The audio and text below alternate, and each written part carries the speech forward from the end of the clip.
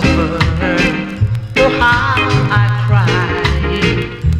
Gave up my pride just to be by her side. And